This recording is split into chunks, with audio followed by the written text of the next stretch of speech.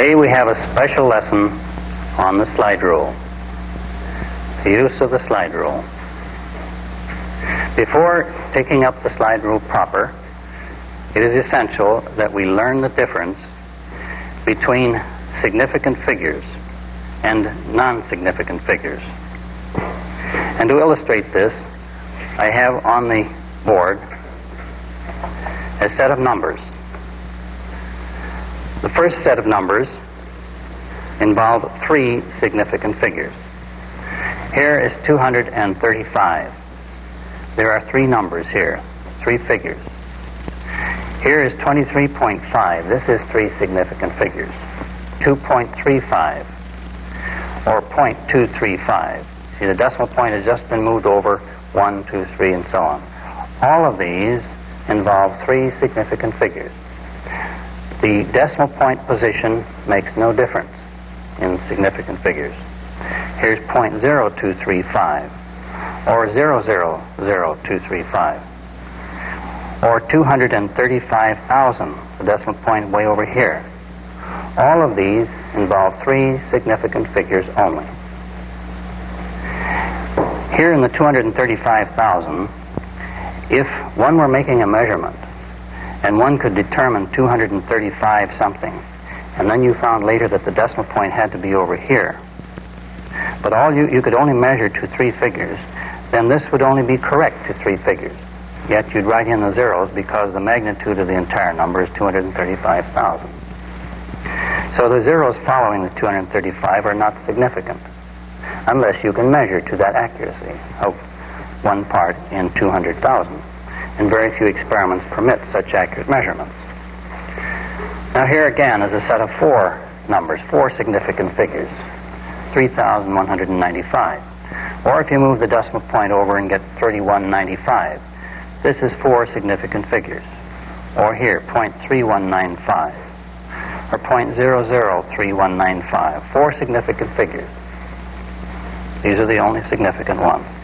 Or 3,195,000. Only four significant figures. Now suppose the zeros were between two numbers instead of at the right or left. Then it's a different story. Here's 2004. The zeros become are between the two numbers. The 4 is significant here because one was able to measure this to determine its number 4 here. Or we might read 20.04 as a measurement, or 0.2004. And here again, three zeros, 2004. Here the zeros are significant. Here they are not. And here again, 20,040,000. These first four figures are significant. These numbers are not. Usually, if they're in front or behind, they are not significant figures. Now, the slide rule is capable of three significant figures, and that's why I illustrated these by numbers so you would know the difference. Let me illustrate why three significant figures are of general importance in most measurements. Suppose one were going to make a me- measure of the area of this rectangle. Normally, you would use a ruler or meter stick and measure the length and the width or height. Suppose you measured the length and found it to be 345 millimeters and the width or height 234 millimeters. Then you would multiply these two numbers together to find the area in square millimeters. Well, now here I've done that. I've multiplied 345 by 234. And carrying out the arithmetic uh, as an answer, got 80730, 80,730. Now suppose I had made an error, or instead of reading the, the length as 345, suppose I had read 344, a difference of only one millimeter. Now, then suppose I read this width as 234, and then multiply those two numbers together, two, 344 by 234, and get 80,496. Look at the difference now that that one millimeter made. Here's 80,496, and here's 80,730. This is a 7 here in the third place, and this is, well, roughly, this 9 would make that a 5. This is 805, roughly. So 805 and 807, you see, makes a difference of two figures in the third significant figure.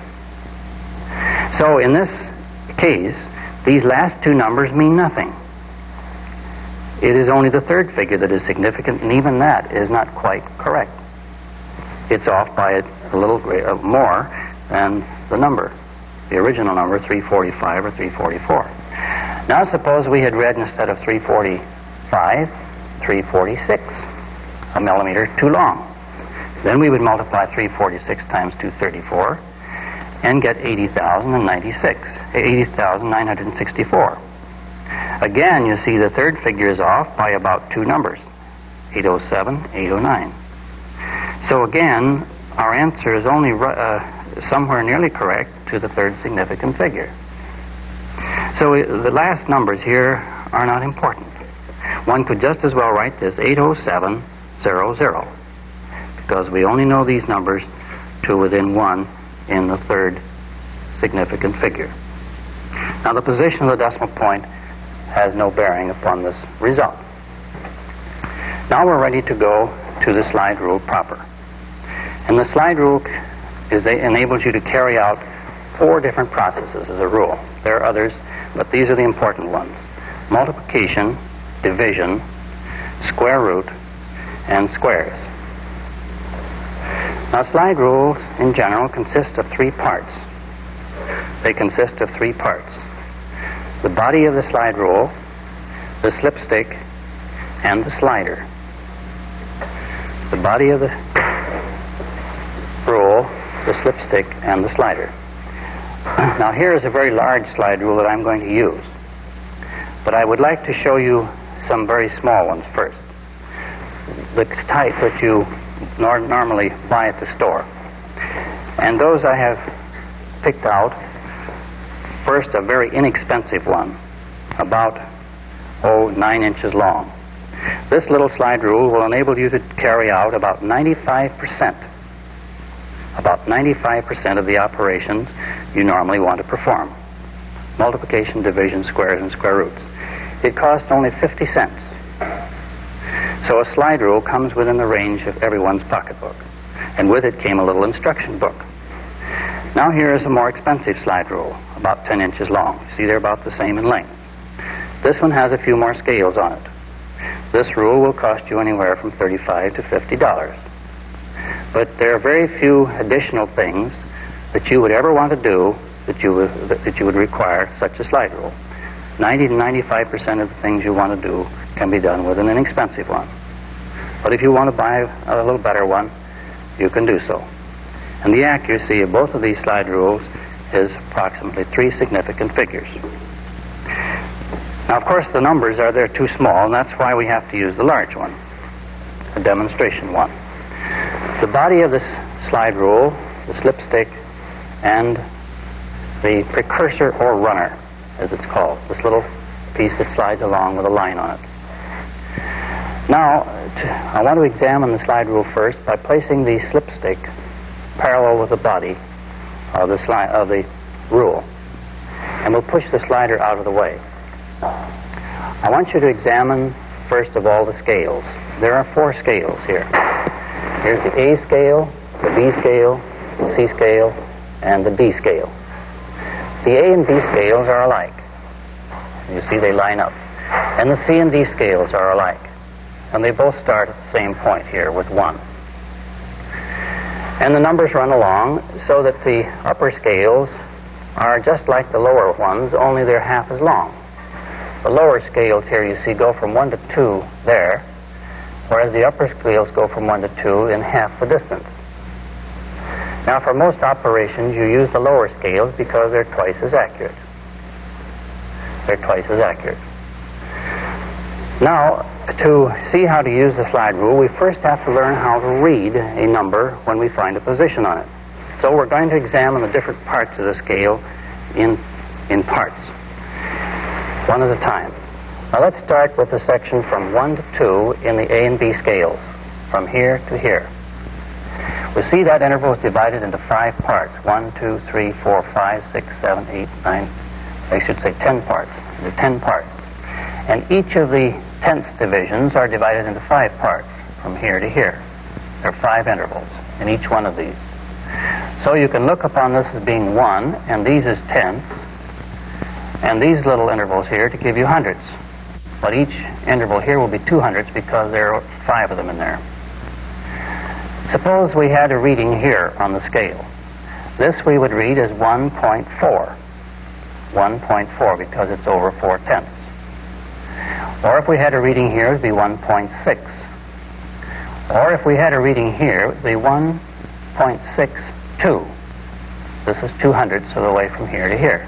Or 2 tenths from there, there. Since these are tenths, that will be hundredths.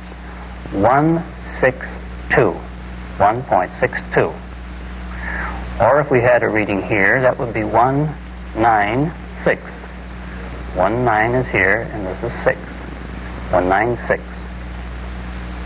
Now, this interval then can represent 1 and a decimal, or it can represent a, a larger number, a smaller number. The decimal point makes no difference. This, for example, could be 14, or 140, or 1 and 4 tenths, as I said before. Now, suppose we had a reading here of 164. This could be 164 it could be 16 and 4 tenths or 1.64. Now let's examine the next change in the scale from 2 up to 5. Here, instead of having each tenth divided into five equal parts, it's only divided into two equal parts. So these represent five hundredths here, from here to here.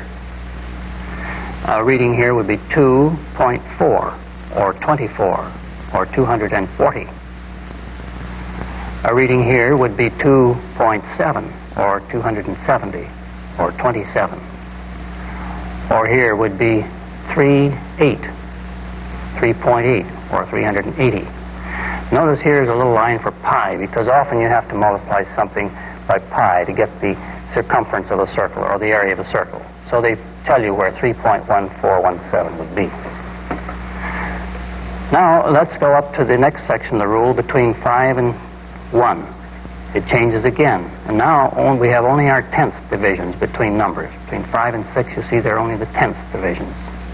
And we have to learn to interpolate. Now, this position would be 5.2.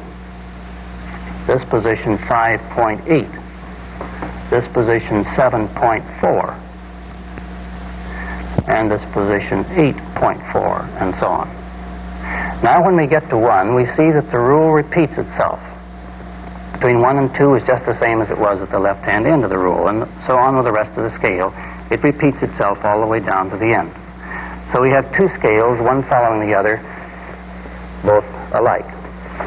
Now let's look at the C and D scales. They're the same as the upper, a little, a little like them anyway, and only spread out twice as far. Here's the 1 and 2 interval from here to here. And notice now the tenth divisions are not only marked with numbers, one tenth, two tenths, three tenths, four tenths, and so on, but between you get in ten lines, so that they're hundredths. Now this position would be read 1.1 or 11 or 110. This would be 1.2, 12 or 120 or 1200 or 12,000. Now, a reading here, if I get that right on there, would be 1.26 or 12.6 or 126. Let's go over to another figure here. This would be 1.55 or 1, uh, 155. This would be 161 or 1.6, excuse me, 166 would be there, wouldn't it? 166 at that point, or 1.66. Now from 2 up to 4, the slider out of the way, from 2 to 4, the scale changes again. And here's 2, 1, 2, 2, 2, 3, 4, 5, 6, 7, 8, 9, 3. Uh, this position would be 2, 4. And this would be 2, 5, 2, 7. This would be 2, 7, 4. Because it's 4 tenths away from there there. 2, 7, or 27.4, 2.74. And so on up, we would read that scale. Now from 4 all the way up to 1, the scale is changed again. That's because they couldn't get more lines in here and still read them. Here, this position would be 4.1 because there's 4 here and 5 there. 4.1. This would be 415. This would be 525. 525. And so on up to the end of the scale. Now that we have seen this parts of the scale and seen how to read them, we'll carry out some processes. Let's start with multiplication. And for a simple number to begin with, we'll take 2 times 3, just to illustrate. You all know the answer, of course. But we'll take the simple example so that you can see how to use the rule. And if, when you've learned, you've forgotten uh, after a few days, always start with simple numbers you know the answer to, and it will be easy to pick it up again. Now we're going to multiply 2 times 3, and that is equal to 6. Now what we do is start with this index 1 on the C scale and put it opposite our first number, which is 2. So we put this index on the scale opposite 2. Now line it up exactly right there. The index on the C scale opposite our first number. Then we follow along this C scale until we come to our second number. And our second number is right there. 2 times 3 is equal to 6. Now, usually one would put the slider here on, two, on the 3 and read below it the 6. But I'm using this pointer because it's a little easier for you to see. So 2 times 3 is 6. Now let's take a little harder product. 25 times 3, which you all can see gives 75. 25 times 3. How would we do that? Our first number is 25. So we come up here to our D scale and let this represent 20 and this represent 30. And 25 was here. So we put our index C right on the 25. And then we multiply that by 3. So we go along the scale to 3 and come down and we find 75. This would be 70, 80, 75. All right, now let's take a little harder number, 2.4 times 35. Now, on the slide rule, you forget the decimal point until you get your answer. So this is the same as multiplying 24 times 35. Two significant figures times 2. 2, 4 times 3, 5. Now we come up to our rule, and here's 25. Here would be 24. So 24 is right here times 35 carries us over here. Here's 35 at this point, and right down here is 84. Now, in the answer, we don't know whether it's 84 or 8.4 or 840. So you write your number down here, and then you examine these figures, and you round them out to the even, even, numbers. This is approximately 2, and this is approximately 3, uh, 30. 2 times 30 would be 60. That tells us the decimal point is here. 84 is not far from 60. The decimal point goes there. Certainly 2 times 30 is not going to give 6, nor is it going to give 600. 2 times 30 is 60. So it tells us the decimal point is there, not there, nor there. So you get the decimal point by inspection. Now let's take 2.6 times 5.5. 2.6 times 5.5. Now we go up to our scale and we set this index on 2.6. And then we come along the scale and we see we run off. We can't read our answer. So what do we do? We slip the stick back in the other direction. We come back to our two point. What did I have here? I set that on 2.7, 2.7, didn't I, instead of 2.6. Well, anyway, we're off the scale. So we come back with our index here to 2.6 in the other direction. see if I get that right. 2526. 2.6 times 5.5. Now we go along the upper scale to our second number, and it comes right here, 5.5. So we come down here, and our answer is 1, 4. And now here we have to guess how far it is between there if we want to interpolate. Our answer would be 1, 4, 3. See, 1, 4 is to there, 1, 2, 3, 1, 4, 3, and we could say 2. But the three figures, it would be 1, 4, 3. So we write down 143. And then to find the decimal point, we examine these two numbers. You see, this is around 2 or 3, and this is around 5. Now, 3 times 5, or 2 times 5, would be 10 or 15. It tells us the answer has the decimal point here. It couldn't be 1. 2 times 5 is certainly greater than 1, and it certainly is not 140 or 143. So there's a decimal point. Now let's take a three significant figure number, like the one of the area of our rectangle. 345, you remember, by 234. 345 by 234. Now we slide this along. Here would be 300 and 40, and here would be 5. 345 we'd put our index right there. 301 to 4, and here's halfway between. 345 times 234. This would be 200, 10, 20, 30, and this would be 4 here. Now our answer is 8 here. I better put this slider on here now. 234 is right there. Now here's 8, and there's 8, 5, there's 8, 1. So it's not quite up to 1. We'd have to interpolate here. 8, 0, this would be 8, 1, this would be 8, 0, 7 or 8. It looks merely 7. So our answer would be, and we could write it down here, 807.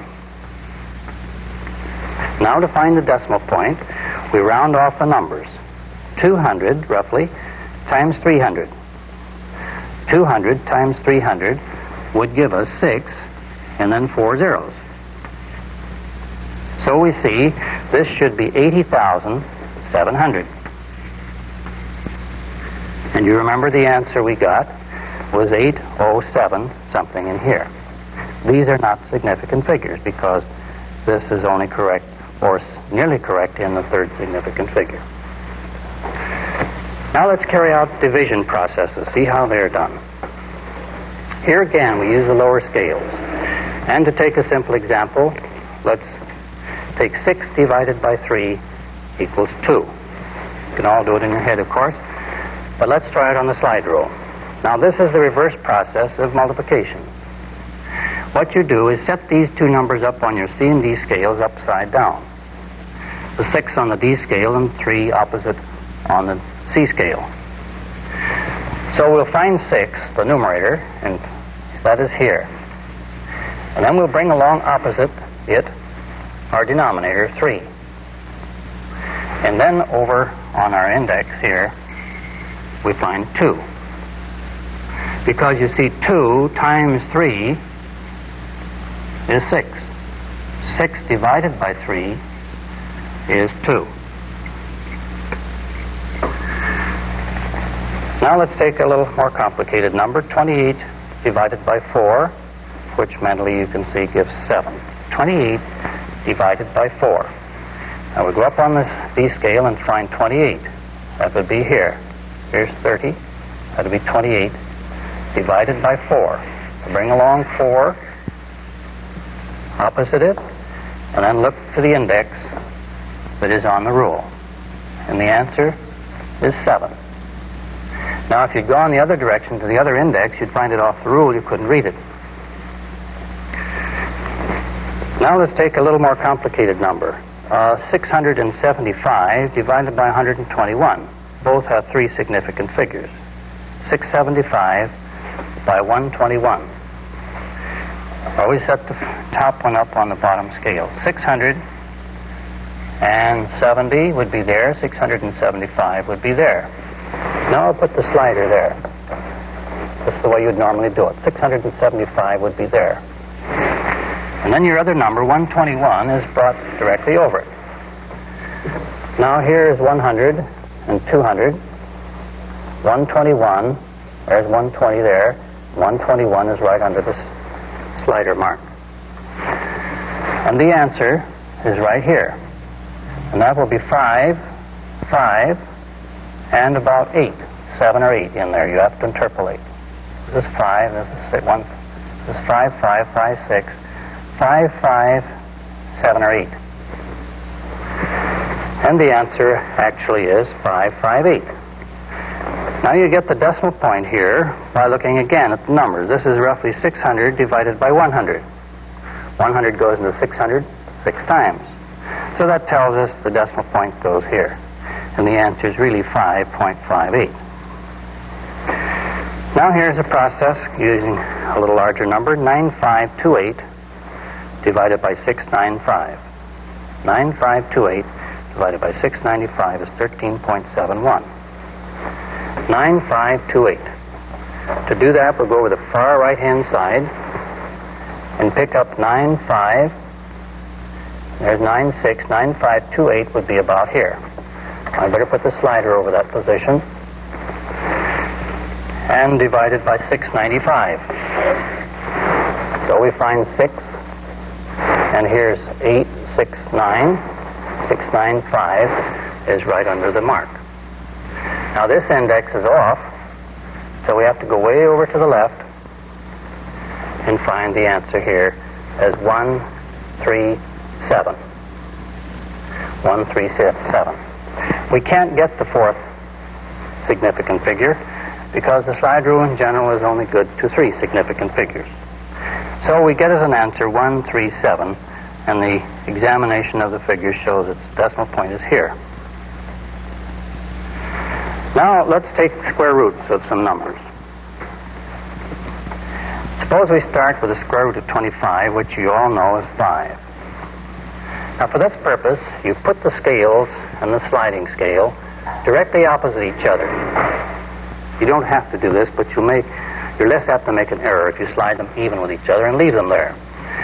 Then what you do is take your number, find it on the upper scale. We'll go way over here to the left and examine this. Now, you don't know whether to go to the right-hand scale or the left, so we look first at some simple numbers we know. Here's a 4 and a 2. The square root of 4 is 2. If You go over here to 9, you find the square root of 9 is 3. If you go along here, there's 15, this can be 16. The square root of 16 is 4. Now we wanted the square root of 25, so here's 20, 30, there's 25, and the square root of it is 5. Now suppose you wanted the square root of 400. You don't know on the upper scales whether to come to the 4 here or whether you go to the 4 on the other side. Now the rule is this. If the number is between 1 and 10, you use the left-hand upper scale. If it's between 10 and 100, you use the right-hand scale. Between 100 and 1,000, between uh, in the left-hand scale. And you can do that by examination. Now the square root of 400 says we should use this scale. And the square root of 400 is 20. So you take the square roots by finding your number on the top scale, and the square root of it will come out below. To square numbers, you just do the reverse process. You can either find your number here and read it off on the upper scale, which gives you the square, like square of two is square of two is four and the square of three is nine. Or you can multiply three times three or four times four, whatever your number is, by using just the C and D scales alone, using the regular regular multiplication process. Now a little practice with the slide rule should enable you to carry out these simple operations. Multiplication division, square root, and squares. Lots of practice will save you a great deal of time. So get yourself a slide rule. You can all afford one.